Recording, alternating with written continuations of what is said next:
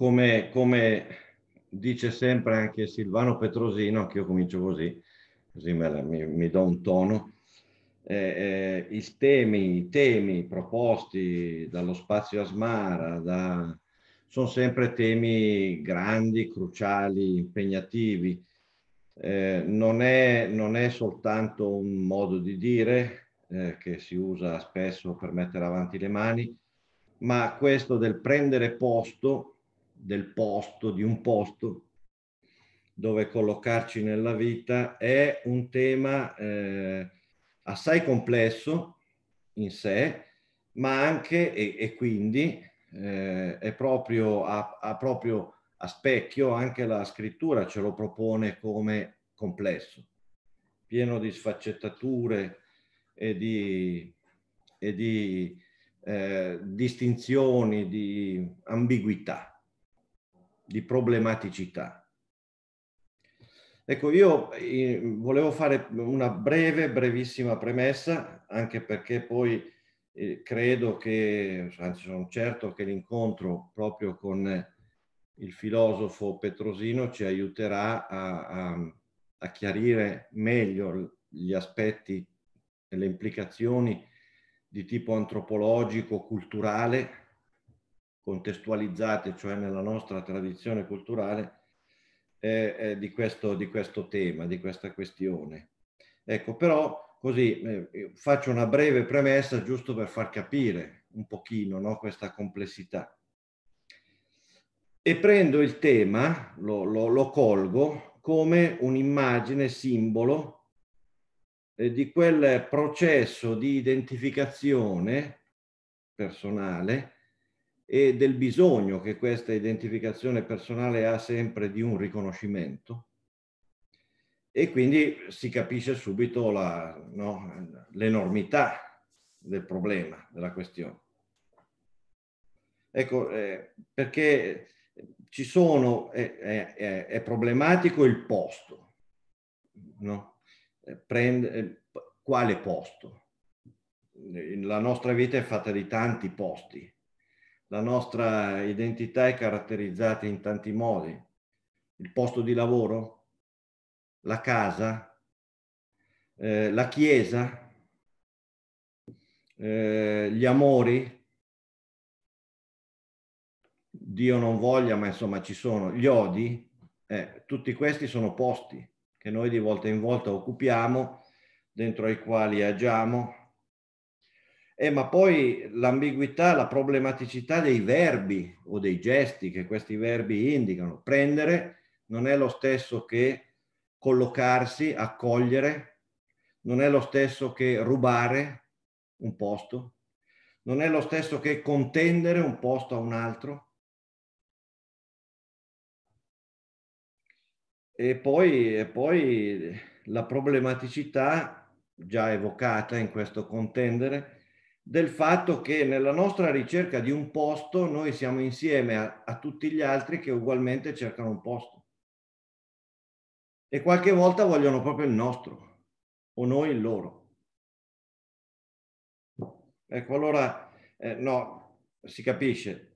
Eh, è, una, è, una, questione eh, che, che, sollecita, che indica, che evoca subito una inquietudine, no? una dinamica un posto non è il posto di cui cercheremo di parlare, non è un luogo statico, non è uno stato, è una dinamica, è sempre in movimento. I posti sono passaggi, i posti sono occupati in un momento e poi, e poi ecco, va bene, ma io qui mi fermo perché, ripeto, volevo soltanto anche, anche creare l'attesa eh, per la serata che Silvano ci regalerà e che penso no, sia giusto attenderla con, con, così, con la, la perché, perché, è promettente. Ecco. Eh, quindi lui ci chiarirà alcune cose. Probabilmente, conoscendolo, visiterà anche alcuni dei testi o dei brani biblici a cui io farò riferimento, ma fa niente, insomma, no?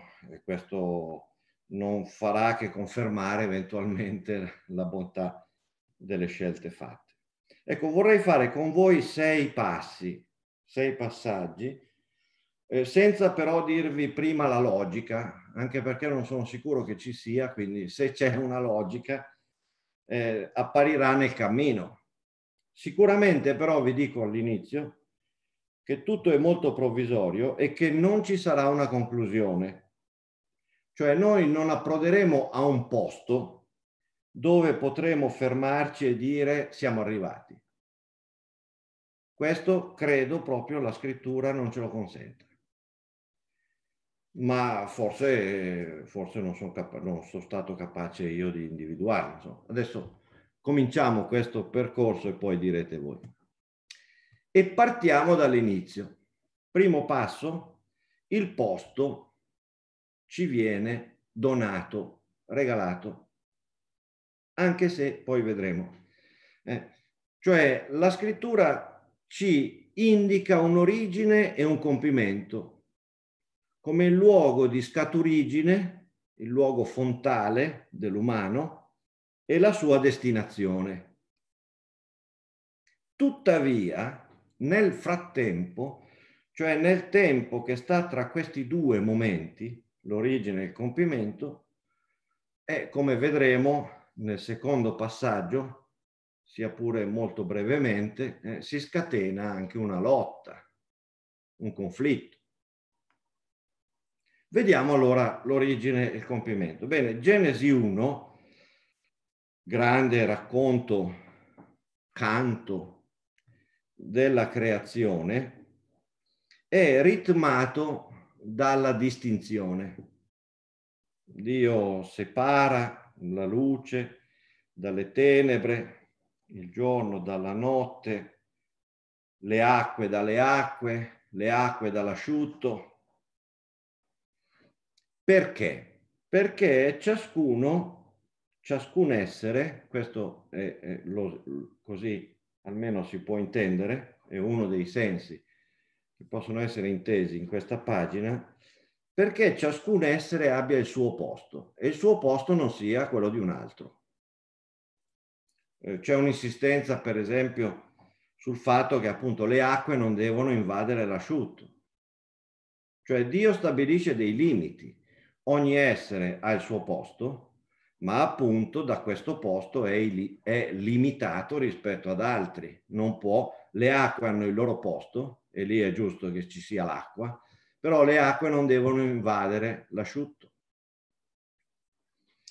Eh, gli alberi hanno ciascuno secondo il loro seme, ciascuno secondo la loro specie, eccetera. Insomma, eh, nel quadro dipinto da Genesi 1 eh, c'è un ordine un ordine che non è a servizio di una rassicurazione di chi lo ha messo in atto, eh, perché, eh, sapete, no?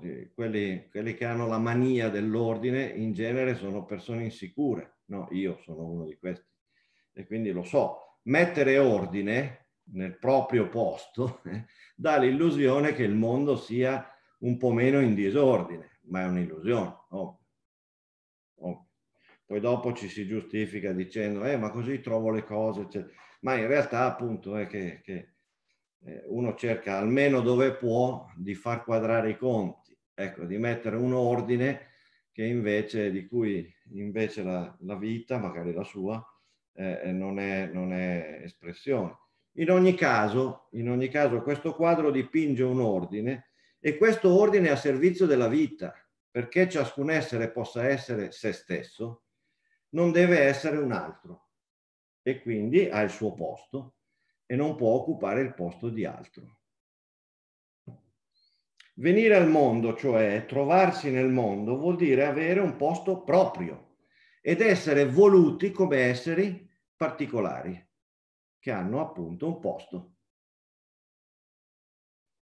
Come esseri, addirittura nel caso dell'uomo e della donna come esseri unici, unici. E quindi E quindi anche qui, capite, non c'è soltanto un posto per l'umano, c'è un posto, come sentiremo dire quando Gesù evoca il compimento, nella casa del Padre c'è un posto per ciascuno. Un posto per ciascuno. Ecco, eh, nel capitolo secondo, eh, Dio crea l'Adam, lo fa con la terra, con l'argilla, e poi dopo però il, il narratore dice che la terra era deserta. Eh? Era deserta perché? Perché il Signore Dio non aveva fatto piovere. Quindi una colpa ce l'ha Dio. Ma anche nessuno lavorava il suolo. Cioè la terra, per essere un ambiente abitabile, accogliente, ha bisogno di un dono divino, ma ha bisogno anche di un servizio umano, il lavoro. Ecco, però subito dopo si dice che il primo lavoro lo fa Dio. Poi il Signore Dio piantò un giardino in Eden, a oriente, e vi collocò l'uomo che aveva plasmato. Ecco, il posto primordiale dove l'umano può vivere e prosperare è un posto donato da Dio, fatto da Dio, e però affidato alla coltivazione e alla custodia dell'uomo. Il Signore Dio prese l'uomo, lo pose nel giardino di Eden perché lo coltivasse e lo custodisse. Si può anche tradurre perché lo servisse e lo osservasse, così come si osservano i comandamenti. Ora, servire e osservare si dice della parola, si dice dell'alleanza, si dice dell'uomo nei confronti di Dio. Ecco, cioè questo giardino, questo dono, questo luogo diventa qualcosa che per l'uomo parla della premura, dell'attenzione, dell'amore che Dio ha per la sua creatura. E l'uomo corrisponde con il servizio, lo stesso verbo con cui si dice coltivare o lavorare eh, si usa per dire il servizio liturgico, la liturgia. Si usa per dire anche il lavoro, il lavoro servile. Si usa per dire coltivare, appunto, si usa. Gesù dirà, è il verbo della fraternità. Servitevi, fa, fatevi servi gli uni degli altri. Ecco, però qui è interessante, è il giardino. Il luogo che ci viene donato, il luogo naturale, è per noi come una parola. Il Salmo 19 lo dirà e lo farà pregare esplicitamente, questa idea. Eh. Ecco, però, eh, e qui si potrebbe la lavorare su questo, cioè, siccome lo coltiva, lo custodisce. Il modo per custodire il giardino è coltivarlo e il modo per coltivare il giardino è custodirlo, non dis- distruggerlo. Eh, cioè, va bene, ma su questo appunto eh, ci siamo già intrattenuti altre volte. Quello che qui interessa notare è che una volta che Dio ha messo l'uomo nel giardino, gli pone anche un limite. Tu potrai mangiare di tutti gli alberi del giardino, ma dell'albero della conoscenza del bene e del male o come suggerisce di tradurre Wenen, dell'albero del conoscere bene o male, non devi mangiare perché quando tu ne mangiassi certamente moriresti. E a, propos- a questo proposito André Wenen sottolinea, dice che intorno a questo albero del conoscere bene e male, bene o male, si intende le cose, se stessi, Dio, intorno a questo albero l'uomo e Dio dovranno imparare a conoscersi e a conoscersi bene o male. Si potranno conoscere male o si potranno conoscere bene. Questo è uno dei luoghi, questo è uno dei luoghi di incontro tra Dio e l'umano. Allora, ciascuno al suo posto, il posto che Dio assegna all'umano è un posto che, che richiede all'umano delle attenzioni, coltivare, custodire, non mangiare tutto, porre un limite alla propria voracità, porre un limite al, al proprio, a, a, no? a, alla, alla propria autoimposizione e poi la constatazione. Il Signore disse, non è bene che l'uomo sia solo, gli voglio fare un aiuto che gli stia di fronte. Cioè che lo aiuti a sapere che, che lui è qualcuno, ma non è tutto. E che di fronte a sé ha un altro, un'altra, che è qualcuna e non è tutto. Di nuovo il tema del limite. Allora il posto diventa anche il posto che occupo, certo, un posto che, eh, che mi è stato dato, ma un posto che deve considerare anche il posto altrui o i posti degli altri. E qui però si scatena il dramma. E Genesi 3 lo rappresenta addirittura nei confronti di Dio. Il serpente eh, suggerisce un sospetto. Non è che nel dono che Dio vi ha fatto del giardino c'è un retroscena, cioè c'è una scena nascosta. Non è che no, in primo piano sembra, eh, sul palcoscenico, sembra che Dio sia tanto buono e generoso, ma dietro le quinte ha tenuto qualcosa per sé di assai prezioso e vuole impedire a voi di espandervi, cioè di prendere più posto, anzi di prendere il suo posto. Il serpente disse alla donna, che ripeteva, sia pure con qualche differenza significativa il comando che Dio aveva dato alla Dam, eh, dice non ne dovete mangiare, ci ha detto Dio, e non lo dovete toccare, altrimenti morirete. E il serpente le replica, non morirete affatto, anzi, ecco il sospetto, ma va, vi ha detto una bugia. Dio sa che quando voi ne mangiaste, si aprirebbero i vostri occhi e diventereste come Dio. Cioè, prendereste il suo posto. Eccolo lì, perfetto. L'uomo e la donna sono tentati di prendere il posto di Dio riguardo al conoscere il bene e il male, cioè sono tentati di farsi criterio assoluto di conoscenza a costo di prendere il posto di Dio.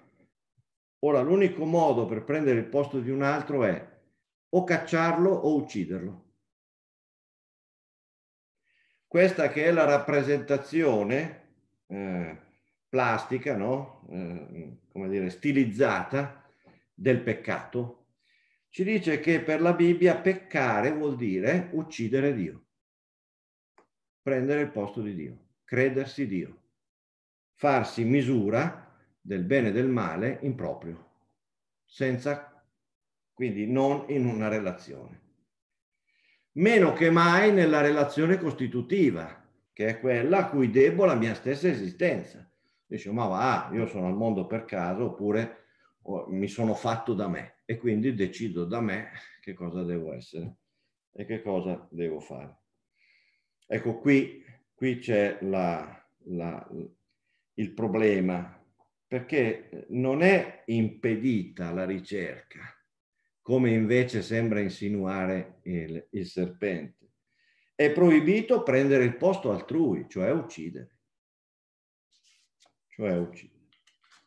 Quando Gesù parlerà del Satana, almeno nel Vangelo di Giovanni, dirà che è menzognero e assassino cioè dice le bugie uccide, incita no, alla menzogna e all'assassinio, all'uccisione. all'uccisione. Penso che uno dei, dei, non dico il comandamento più importante, ma certamente uno dei divieti più importanti anche nel decalogo sia proprio non uccidere. Non uccidere. Non esercitare una violenza distruttiva. Ora, eh, eh, cosa, qual è l'esito dell'aver dato retta a questo sospetto e dell'aver compiuto questo omicidio, sia pure simbolico? Che l'uomo e la donna si accorgono di essere nudi e intrecciano foglie di fico per farsene cinture, cioè devono difendersi l'uno dall'altro e poi insieme si devono difendere da Dio, si nascondono l'uno all'altra e si nascondono da Dio. Tant'è che poi arriva, li cerca e dice dove sei? E dice eh, son, mi sono nascosto perché ho paura di te. È la prima parola che un essere umano, che l'essere umano rivolge a Dio, eh?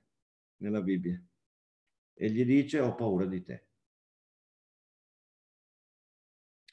Ecco, se questa è la rappresentazione, scusate, io devo essere un po' sintetico, ma se questa è la rappresentazione dell'umano e del suo cercare un posto, anche se Dio ha già provveduto per lui un posto, ma poi questo non, non fa terminare la ricerca, evidentemente. Allora, in questa ricerca, ecco, c'è Genesi dice attenzione, eh, perché si diventa menzogneri e omicidi. Ecco, ma se questa è, è, la vita, se questa è la rappresentazione della vita, la domanda è, c'è la possibilità di essere giusti?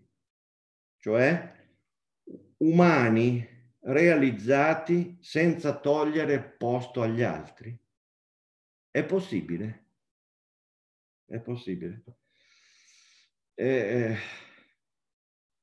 è difficile, è difficilissimo ma non è impossibile.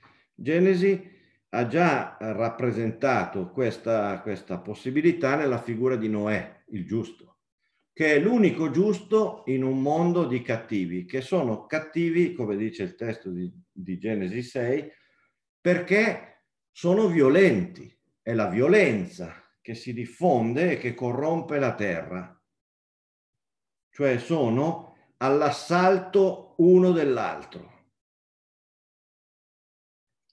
Però in mezzo a tutta questa corruzione, male, violenza, è possibile essere giusti. E questo è un disastro, per noi è un disastro perché ci toglie gli alibi. No? Se, se dice che è possibile, vuol dire che non è impossibile.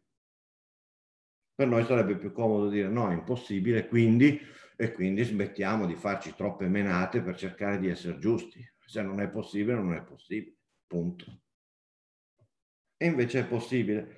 Ma poi eh, Genesi rincara la dose in tutta l'ultima parte del libro, raccontando la storia di Giuseppe e dei suoi fratelli, dove Giuseppe viene raffigurato come l'Adamo riuscito. L'Adamo riuscito. e eh, questo appare in modo particolare in un aspetto. Giuseppe non prende mai il posto di altri dopo essere stato tentato di prendere un posto che non è il suo, cioè di porsi al centro della famiglia di Giacobbe, a causa certo anche dei privilegi che il padre, il vecchio padre gli accordava, eccetera, eccetera. E dopo essere rimasto vittima dell'invidia dei fratelli che lo hanno venduto all'Egitto, Giuseppe fa eh, fortuna nella casa di Potifar, il suo padrone e il padrone gli dà tutto in mano, tutto, e non gli chiede conto se non di... E a un certo punto, grazie alla, all'innamoramento della moglie di Potifar nei suoi confronti, di Giuseppe, potrebbe addirittura prendere il posto di Potifar nel letto coniugale. E che cosa dice Giuseppe? Dice no, no. Perché? Perché il mio padrone mi ha messo in mano tutto e io non posso tradire la sua fiducia. Tutto, ma una cosa no. tutto ma non tutto. Quasi tutto ma non tutto. Cioè Giuseppe non cede a un delirio di onnipotenza. Giuseppe mantiene un limite. Giuseppe mantiene una distanza, un rispetto. Giuseppe è sempre messo nella condizione di poter prendere il primo posto, ma accetta di stare al secondo posto. Che vuol dire? Accetta di stare al suo posto, perché sapete, è, è, come, è come i mondiali di calcio, non è che tu dici l'Italia è arrivata seconda, se l'Italia arriva seconda per, ha perso i mondiali, cioè perché tutti si ricordano chi ha vinto, non il secondo, il terzo e il quarto. Quello lì vale per le statistiche, ma insomma si, ci si ricorda chi ha vinto. Arrivare secondi vuol dire aver perso il mondiale, non essere i secondi al mondo, vuol dire aver perso il mondiale. Allora lui dice, ma io non voglio vincere. Io non voglio, non voglio, non posso e non voglio prendere il posto di Potifar. Quando poi viene tolto dalla prigione e viene convocato dal faraone per interpretare i suoi sogni e li interpreta con successo, il faraone cosa gli dice? Tu sarai secondo. L'unica cosa potrai, a cui non potrai ambire è il mio trono. Per il resto sei il padrone dell'Egitto. E Giuseppe cosa fa? Sta al suo posto. Non prende il posto del faraone. Interessante, no? Interessante perché guardate che grazie a questo il posto che Giuseppe occupa salva l'Egitto, permette all'Egitto di vivere, di sopravvivere alla carestia. E infine, quando Giuseppe ha riconciliato la fraternità ferita, perché i fratelli sono andati in Egitto a prendere il grano, lui li ha riconosciuti, ma loro no, e allora gli fa fare tutto un percorso, eccetera, di riconciliazione, che cosa succede? Che il vecchio padre Giacobbe muore e sentite la scena, eh? siamo proprio alla finale del libro della Genesi. I fratelli di Giuseppe cominciarono ad avere paura, capitolo 50, dato che il loro padre era morto e dissero, chissà se Giuseppe non ci tratterà da nemici e non ci renderà tutto il male che gli abbiamo fatto. Allora mandarono a dire a Giuseppe, tuo padre prima di morire ha dato quest'ordine. Direte a Giuseppe, perdona il delitto dei tuoi fratelli e il loro peccato perché ti hanno fatto male. Perdona dunque il delitto dei servi del Dio di tuo padre. Cioè si appellano all'autorità del padre morto e all'autorità di Dio per dire a Giuseppe, Giuseppe, non vendicarti, non farci violenza non vendicarti del fatto che noi ti abbiamo tolto dal posto che avevi nella fraternità tra i figli di Giacobbe, ti abbiamo strappato il tuo privilegio. Perché dicono così? Perché temono che Giuseppe voglia fare esattamente questo, prendere il posto del padre, prendere il posto di Dio e quindi fare giustizia. E la risposta di Giuseppe prima è un pianto. Giuseppe pianse quando gli si parlò così. I fratelli arrivano, si gettano a terra davanti a lui, dicono siamo tuoi schiavi, eccoci tuoi schiavi, e Giuseppe parla e dice così. Non temete, sono io forse al posto di Dio? Ecco l'Adam che non prende il posto di Dio. Ecco l'umano che non prende il posto di Dio, che non si arroga lui di conoscere bene e male, di giudicare, di condannare, di condannare. Se voi avevate pensato del male contro di me, Dio ha pensato di farlo servire a un bene, per compiere quello che oggi si avvera, far vivere un popolo numeroso. Ecco. Dunque non temete, io provvederò a sostentamento per voi e per i vostri bambini. Bello. Dice no, ma non solo io non voglio prendere il posto di Dio, eh, ma voglio continuare a garantire a voi un posto per poter vivere. Questo è il posto di Giuseppe. Giuseppe è colui che rende possibile la fraternità e la vita, che rende possibile il futuro. Cioè Giuseppe è uno che fa posto. Ora Giuseppe con la famiglia di suo padre abitò in Egitto. Giuseppe ha fatto posto alla sua famiglia, ai suoi fratelli, ai figli dei suoi fratelli, cioè ai suoi nipoti. Ecco, però a un certo momento c'è una sorpresa. Al versetto 24 si legge, poi Giuseppe disse ai fratelli, io sto per morire, ma Dio verrà certo a visitarvi e vi farà uscire da questo posto, da questo paese, verso il paese che egli ha promesso con giuramento ad Abramo, a Isacco e a Giacobbe. Giuseppe fece giurare ai figli di Israele così, Dio verrà certo a visitarvi e allora voi porterete via di qui le mie ossa. Io non voglio stare qui neanche da morto. Non è questo il mio posto per sempre. Cioè Giuseppe fa un posto, non prende il posto degli altri e tuttavia dichiara alla fine che il posto in Egitto è provvisorio. È provvisorio per il popolo di Dio, ma è provvisorio anche per lui. Giuseppe, cioè in Egitto, è fuori posto. È fuori posto. Una cosa che riprenderemo. Bene, questa è l'origine, ma il compimento lo dice Gesù, l'ho già anticipato, nel testo di Giovanni 14, quando dice ai suoi discepoli, non sia turbato il vostro cuore, abbiate fede in Dio e abbiate fede in me. Nella casa del Padre mio vi sono molti posti, se no ve l'avrei detto. Io vado a prepararvi un posto, si intende un posto per ciascuno. Quando sarò andato e vi avrò preparato un posto, ritornerò e vi prenderò con me, perché siate anche voi dove sono io. E del luogo dove io vado, voi conoscete la via. Quindi Gesù ridice che c'è un posto per ciascuno, che siamo al mondo per questo, eh, che non siamo, eh, come dire, fungibili, ognuno è unico, è irripetibile, e dice che eh, però questo posto adesso non è disponibile, eh, è nel, nella casa del padre.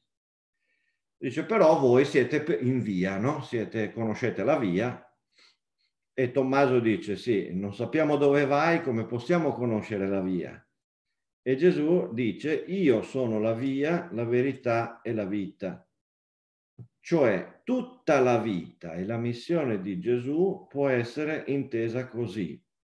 Ha come scopo l'incontro, propiziare per ciascuno di noi l'incontro con il suo proprio posto nella relazione col Padre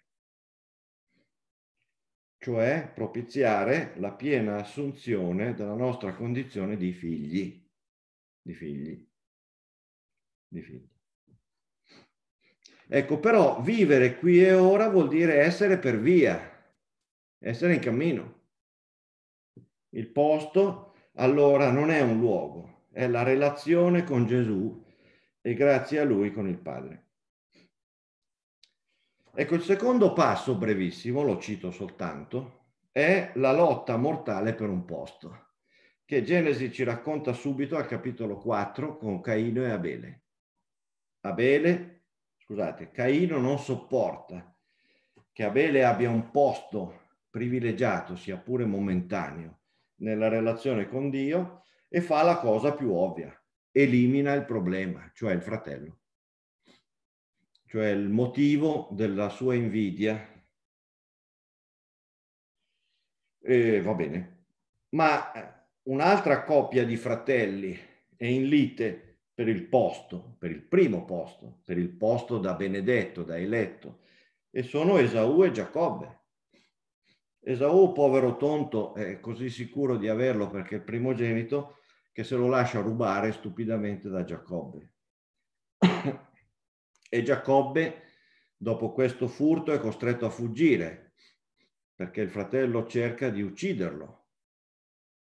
E poi dopo dovrà rincontrare il fratello e, e teme di essere ucciso. E il fratello sorprendentemente lo perdonerà Ecco, ma potremmo continuare. Marta e Maria.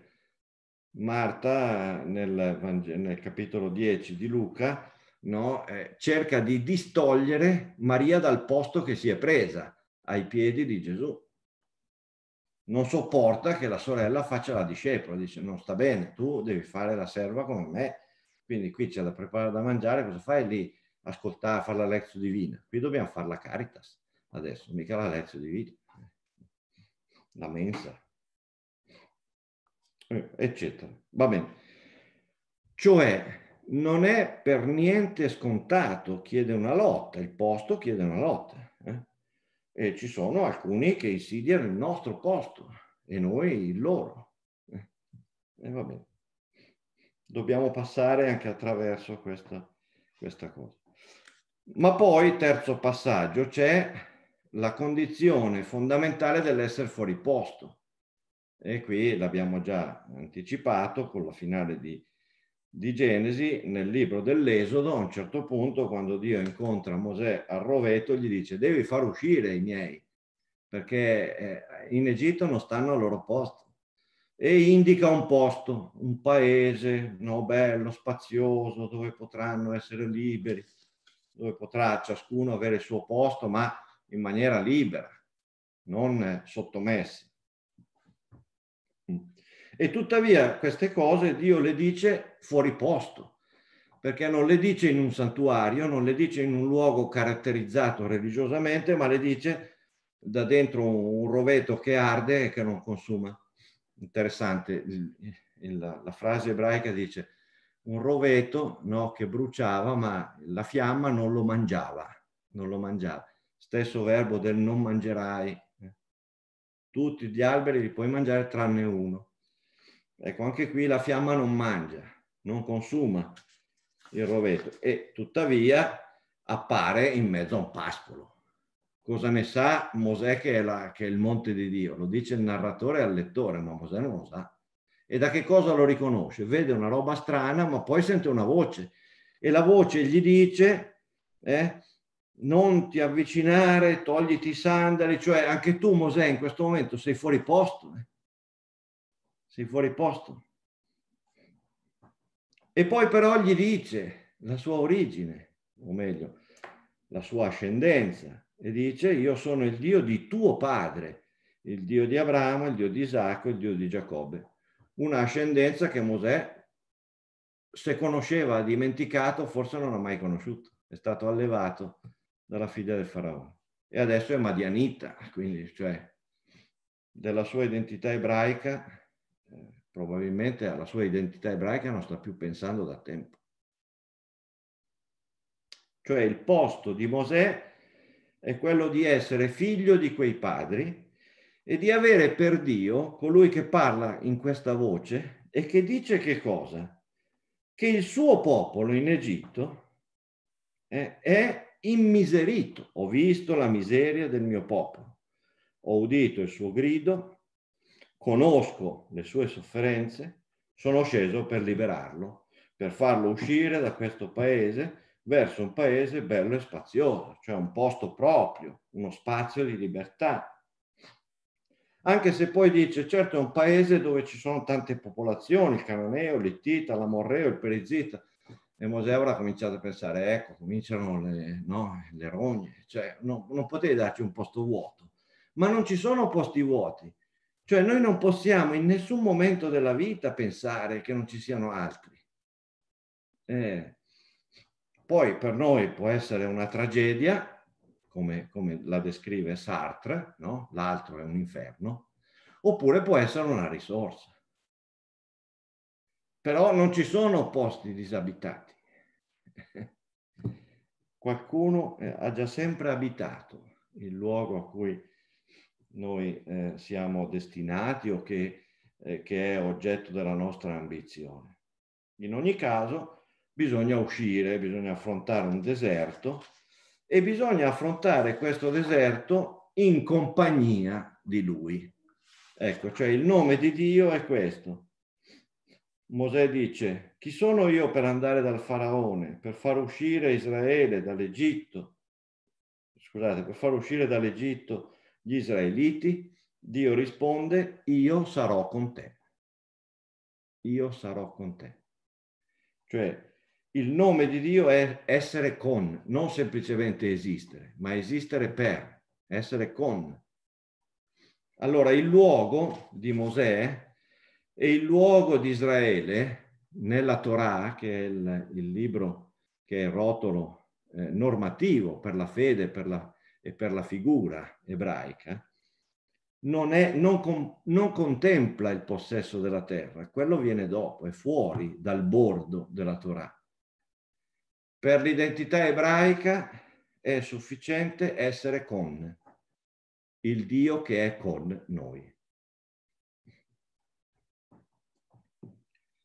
Ecco, certo, il luogo allora è la relazione, la relazione che Esodo chiama, ma già in una retroproiezione che compare più volte in Genesi, è stata chiamata alleanza.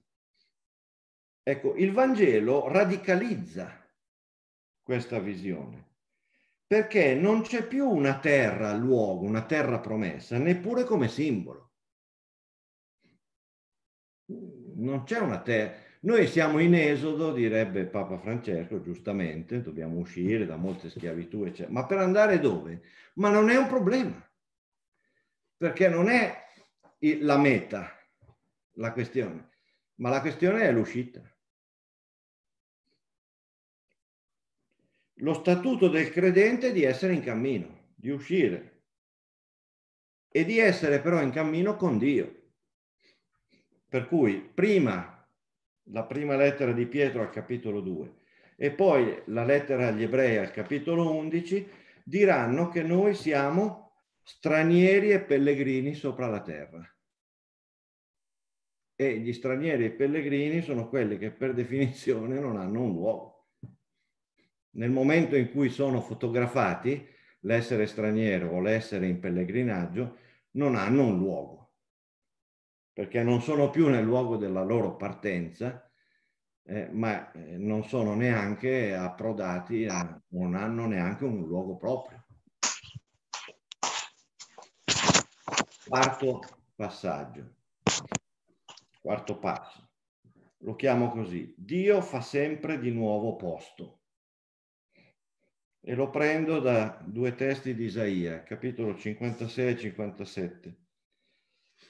E in sintesi vi dico così, che in questi capitoli il profeta tratteggia il volto di Dio come colui che prende posto, un posto che elegge il suo luogo privilegiato presso coloro che non hanno posto, che sono esclusi. Per cui di qui deriverebbe almeno una, una annotazione di metodo, no? se è vero che adesso bisogna per forza fare il sinodo perché l'ha detto il Papa e finalmente anche il presidente della CEI ha detto che bisogna fare i sinodi, eh, allora facciamo i sinodi. Vabbè. Era un po' di anni no? che, che si diceva, però vabbè. C'è sempre bisogno di un gesto d'autorità ma noi avevamo, abbiamo cominciato prima a buon conto, no? lo stiamo facendo da anni. Ma eh, dico, se uno deve fare sinodo e vuole, e vuole capire che cosa, che cosa, desidera, che cosa ci dice il Signore oggi, no? la prima cosa, la cosa che non dovrebbe mancare di fare è di collocare quelli che lui stesso ha escluso, no?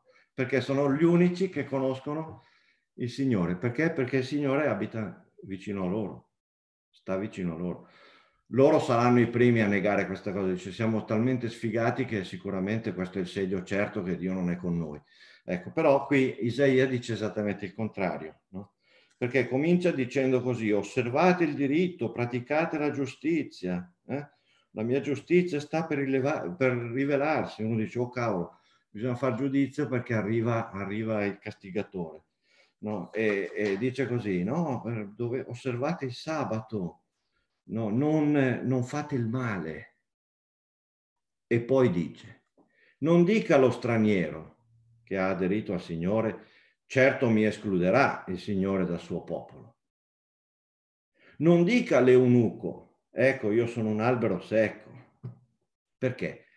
non deve dire così, perché io dico, io Signore dico che agli eunuchi che osservano i miei sabati, preferiscono le cose di mio gradimento, restano ferme nella mia alleanza, io concederò nella mia casa e dentro le mie mura un posto e un nome migliore che a figli e figlie. Cioè questi figli esclusi, questi figli adottivi, questi, questi recuperati, questi no, eh, scappati di casa, no, eccetera, dice sono, sono la, la mia prole preferita. Io sono padre, prima di tutto e soprattutto di costoro. Quindi chi mi può conoscere come padre se non prima di tutto e soprattutto loro?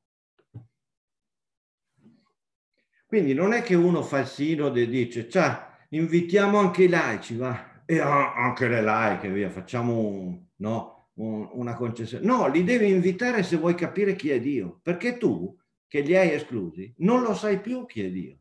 O te lo raccontano loro, o altrimenti l'hai perso. Mi spiego? Penso di averlo detto chiaro, no? E ma la cosa è talmente vera che poi il testo va avanti no? e dice così, eh, alla fine, cioè nel, nel, nel secondo capitolo, nel 57, dice così, così parla l'alto, l'eccelso, che ha una sede eterna, un luogo, un posto, Dio c'ha il suo posto ed è il suo posto eterno, eh, il nome è, è, santo, in un luogo eccelso, no? cioè sopraelevato e santo io dimoro, ma sono anche con gli oppressi e gli umiliati, cioè io che sono il più alto sto col più basso, per ravvivare lo spirito degli umili e rianimare il cuore degli oppressi. Poi si rivolge al popolo, che non è fatto di umili e di oppressi, di gente che insomma, e dice io non voglio discutere sempre né essere sempre adirato. Li, no? Altrimenti davanti a me sarebbe venuto meno lo spirito e l'alito vitale che ho creato.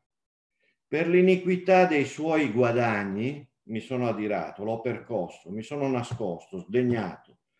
Eppure egli voltandosi se n'è andato per le strade del suo cuore. Ho visto le sue vie, ma voglio sanarlo, guidarlo, offrirgli consolazione. E come fa? Gli manda come missionari gli afflitti. Ai suoi afflitti, ai suoi afflitti di questo popolo santo che non ne vuole sapere di Dio e delle sue vie, ai, ai suoi afflitti, io pongo sulle labbra pace, pace ai lontani e ai vicini, dice il Signore, io li guarirò. Cioè questi che dovrebbero vendicarsi dell'afflizione e dell'esclusione che hanno patito saranno i missionari che riveleranno il cuore di pace e di guarigione, di vita, eh, che è il cuore di Dio. Certo, mica tutti gli afflitti, gli esclusi sono così. Ecco, ma se ci sono dei missionari che possono ricordare al popolo di Dio quello che eh, costantemente tende a dimenticare, sono gli esclusi, i figli esclusi. Ecco, allora, quello che, che noi vediamo qui, eh, soprattutto nella profezia, è evidente, ma anche nei testi narrativi, è che la Bibbia continuamente ci, ci racconta perché noi prendiamo posto nel racconto, nella storia, con Dio. Cioè, la Bibbia ti racconta Abramo, ti racconta Mosè, ti racconta Adamo ed Eva, ti racconta Giuseppe e dice prendi posto, collocati in questa storia, prendi posto, assumi un protagonismo, assumila per te questa storia. Tu puoi essere protagonista di una storia simile, simile. Però ricordati di metterti dalla parte giusta, ecco, cioè di non metterti dalla parte dei superbi, dalla parte degli oppressori, dalla parte del faraone, dalla parte... De... Ecco, cioè, è chiaro, è chiaro che la parte giusta non è quella che vince. Non è quella che si arricchisce. Non è quella che comanda. Ma è la parte giusta. È la parte che fa vivere. e non quella che fa morire.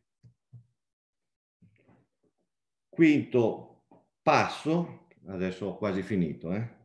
quinto passo, farsi posto a vicenda, perché appunto tu, non è sfuggito già da Giuseppe, no? dalla storia di Giuseppe, che Giuseppe ritrova il suo posto quando ritrova pienamente, quando ritrova la fraternità, cioè quando il suo compito diventa ricostruire la fraternità ferita e far vivere i suoi fratelli. E allora potremmo dire così, il posto con Dio e l'essere con noi di Lui è la fratellanza e la sorellanza. Ecco, il nostro posto di ciascuno di noi è un posto unico, perché ciascuno di noi è unico, è irripetibile, originale. Ecco, tuttavia non può essere vissuto se non tra altri unici, irripetibili e originali. Cioè dentro una pluralità, dentro un plurale. Dentro un plurale. Cioè il nostro posto è plurale, è una comunità, è una fraternità, ma una pluralità di unici,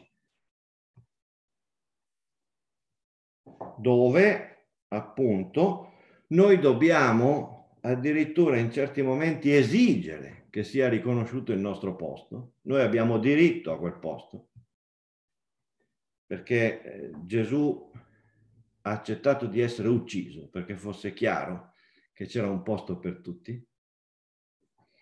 Quindi è costato il suo sangue. Noi dobbiamo chiedere che sia riconosciuto il nostro posto, dobbiamo prendere posto.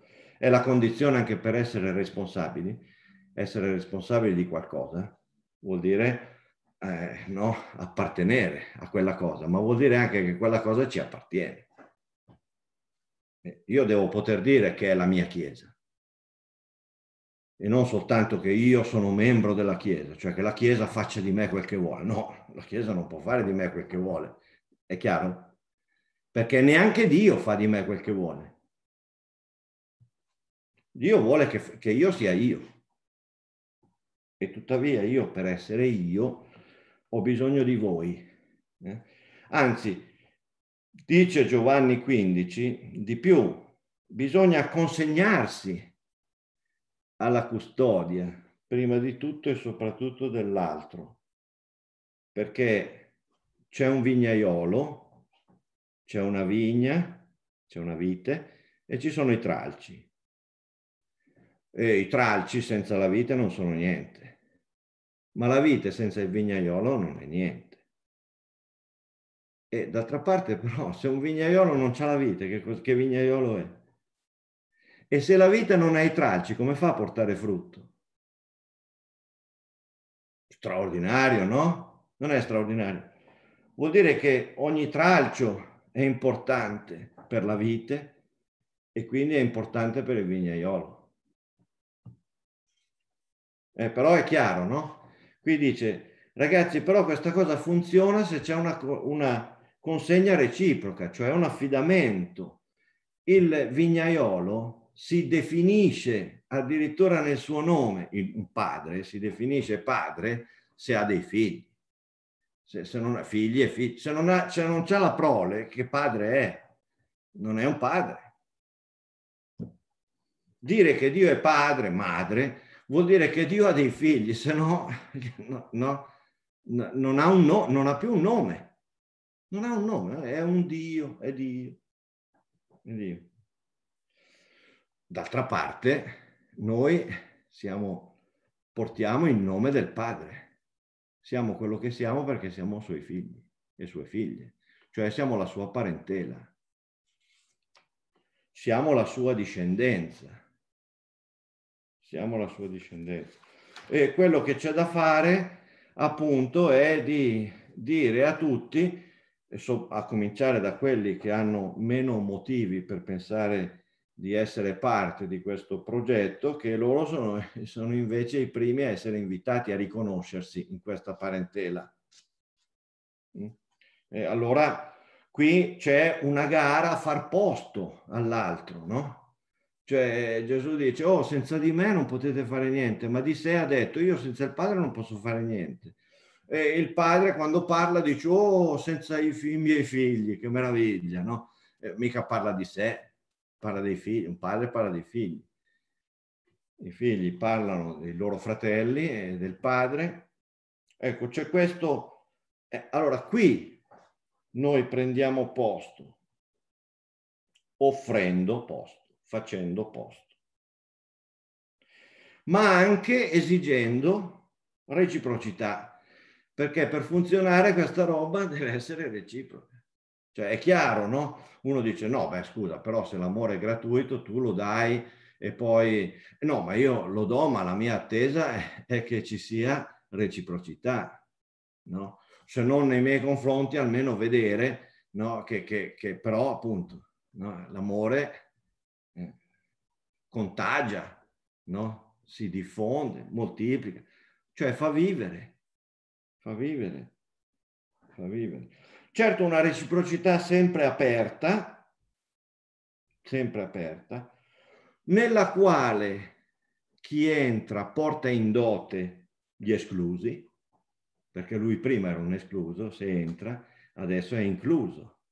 Quindi porta in dote la sua esperienza di escluso, ma anche l'esperienza dei tanti che ancora restano esclusi e che devono essere, ai quali deve essere fatto posto.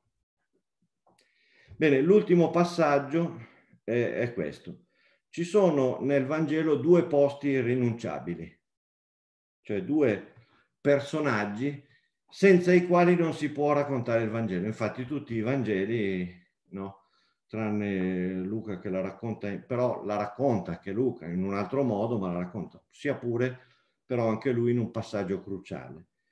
Due personaggi non possono non essere ricordati se si vuole raccontare il Vangelo.